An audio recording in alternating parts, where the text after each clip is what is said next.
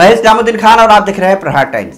आग लगने की एक दर्दनाक घटना में सात लोग ज़िंदा जल गए हैं। आपको बता दें कि दिल्ली में बीती रात गोकुलपुरी में भीषण आग लगने की घटना सामने आई है। इसमें 11 साल के बच्चे समेत सात लोगों की जलकर मौत हो गई है। दिल्ली दमकल विभाग सेवा के प्रमुख अतुल गर्ग ने बताया है कि फायर डिपार्टमेंट को आधी रात को सूचना मिली जिसके बाद मौके पर तेरह फायर ब्रिगेड की गाड़ियाँ पहुँची। इस आग में करीब 60 से भी ज़्यादा झुपड़ियाँ आग की चपेट में आ गई हैं और फ़िलहाल आग पर काबू पा लिया गया है।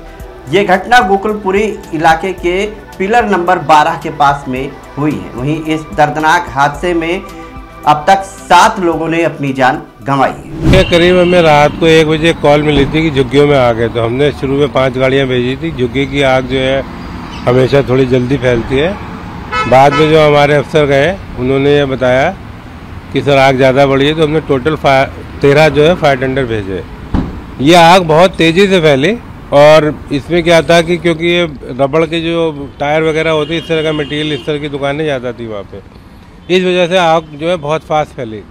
और जब आग हमने बुझाई तो उसके बाद जब हमने सर्च ऑपरेशन किए तो हमें सात लोगों की बॉडी मिली, जो कि चार्ट थी बिल्कुल। जिसको आप पहचान नहीं सकते मतलब ऐसी बॉडियाँ हैं अभी।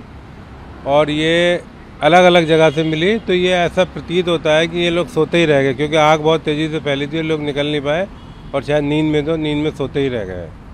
तो अभी तक ये पोजिशन है। सर आग की देखिए अभी ये ठीक से पता नहीं चल पाया क्योंकि सारी झुग्गियाँ ऑलमोस्ट जल गई हैं।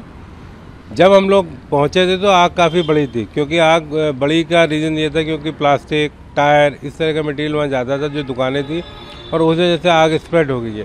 कारणों का भी पता लगाया जा रहा है अभी कंक्लूसिव कुछ नहीं कहा सकते आग क्यों लगी है। इसमें सिलेंडर भी बहुत थे पर सिलेंडर फटे हुए जो है नहीं थे मतलब ऐसे फटने की वो नहीं आई।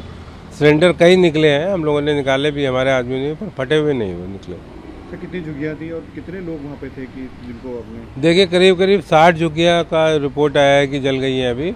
लोग कितने थे ये अभी जो है, तस्करी नहीं बताया सकता क्योंकि काउंटिंग होगी, उसके बाद बताया जा पाएगा।